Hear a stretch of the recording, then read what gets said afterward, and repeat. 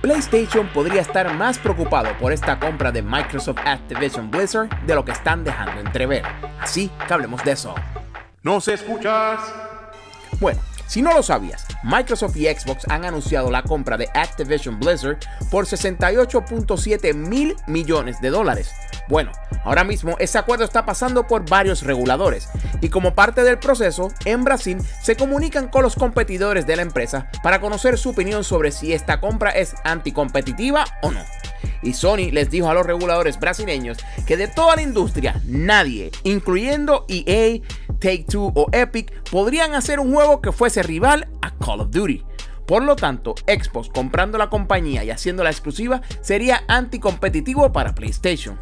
Noticia muy interesante y tiene sentido, ya que Call of Duty es fácilmente uno de los juegos más grandes en la plataforma PlayStation, pero definitivamente están empezando a parecer que sí están preocupados.